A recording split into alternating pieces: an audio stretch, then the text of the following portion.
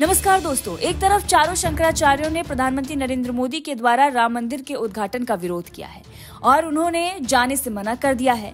22 जनवरी को उद्घाटन समारोह है, लेकिन शंकराचार्यों ने आमंत्रण ठुकरा दिया है और उन्होंने कह दिया है कि मंदिर अभी अधूरा है, उसके साथ ही तमाम सवाल उनके द्वारा उठाए गए हैं और ये कह दिया गया है कि मैं राम मंदिर उद्घाटन में शामिल नहीं होगा जिसके बाद से ही बीजेपी के नेता कार्यकर्ता, बीजेपी के समर्थक, मोदी के समर्थक शंकराचार्य पर सवाल खड़ा कर रहे हैं। शंकराचार्य के पुराने बयान भी सोशल मीडिया पर वायरल हो रहे हैं। अब ऐसे में ये बताया जा रहा है कि जितने भी शंकराचार्य न जाने के लिए कह रहे हैं और राम मंदिर उद्घाटन का विरोध कर रहे हैं, वो ये राजनीतिक कारण की वजह से कर रहे हैं। क्योंकि ये पूरा जो गिरोह रहा है, वो किस तरीके से सोनिया गांधी के समर्थन में, यानी कि कांग्रेस के समर्थन में रहा है, ये भी उनके द्वारा बताया जा रहा है। एक तरीके से जो बीजेपी के नेता कार्यकर्ता हैं, वो आरोप ये लगा रहे हैं कि शंकराचार्य कांग्रेस को फ़ायदा पहुँचाने के लिए प्रधानमंत्री नरेंद्र मोदी से एक तरीके से राजनीतिक दोष जो है, वो रख रहे हैं, इसीलिए उस तरीके का बयान वो दे रहे हैं। वहीं शंकराचार्य का पुराना बयान भी सामने आ रहा है, जहाँ पर वो मोदी को हराने की वो बात कर रहे हैं। अब ऐसे में सवाल एक तरफ़ शंकराचार्य को लेकर खड़ा हुआ है, लेकिन दूसरी तरफ़ शिवराज सिंह चौहान, जो कि मध्य प्रदेश के पूर्व सीएम हैं, और बीजेपी हाईकमान ने इस बार विधानसभा चुनाव के बाद जो जीत मिली, उसमें शिवराज सिंह चौहान को हटाकर मोहन यादव को मुख्यमंत्री बना दिया। और तभी से शिवराज सिंह चौहान के द्वारा लगातार बड़े संकेत दिए जा रहे हैं कि वो नाराज़ चल रहे हैं और जो सत्ता उनसे छीनी गई है, कहीं ना कहीं बीजेपी हाईकमान ने गलत किया है।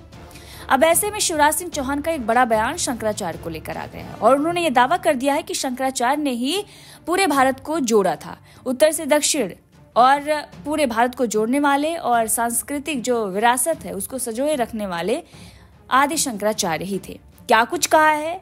शिवराज सिंह चौहान, वो आपको सुनाएँगे, लेकिन इसके साथ ही आपको ये भी बता दें कि अब शिवराज सिंह चौहान का जो बयान आया, उसके बाद लोग इस बात की चर्चा कर रहे हैं कि ये चुनौती जो है प्रधानमंत्री नरेंद्र मोदी को दी जा रही है। और एक तरीके से शिवराज सिंह चौहान ये दिखाने की कोशिश कर रहे हैं कि अगर मैं प्रधानमंत्री होता तो मैं शंकराचार्यों की बात मानता।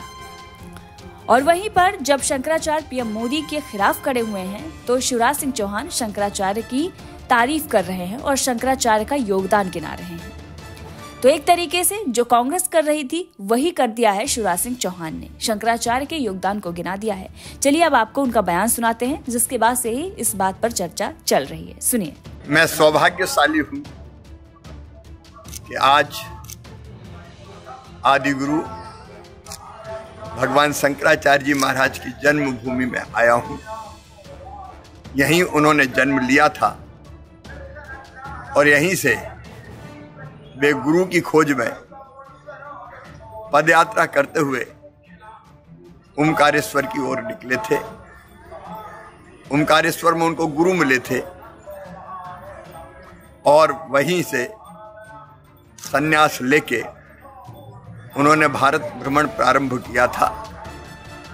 आदि गुरु की कृपा आज उनकी जन्मभूमि में आने का सौभाग्य मिला। आदि गुरु शंकराचार्य जी के कारण ही सांस्कृतिक रूप से आज भारत एक है।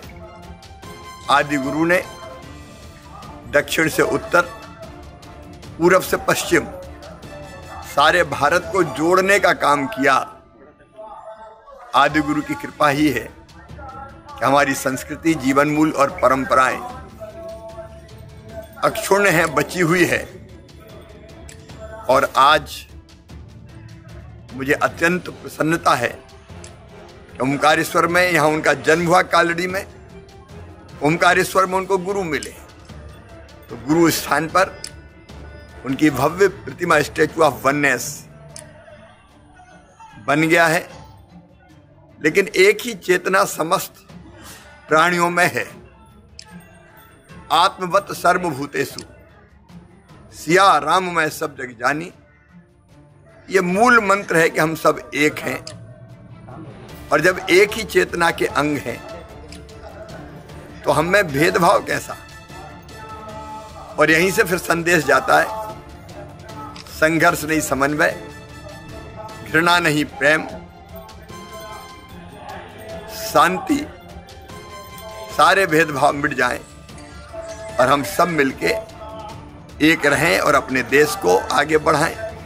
और यही विचार है जो भौतिकता की अग्नि में दग्ध विश्व मानवता को शाश्वत शांति के पथ का दिग्दर्शन कराएगा और इसलिए ओंकारेश्वर में, जहाँ आदि गुरु को उनके गुरु मिले गुरु भूमि दीक्षा भूमि वहाँ एकात्म धाम का निर्माण प्रारंभ हो रहा है।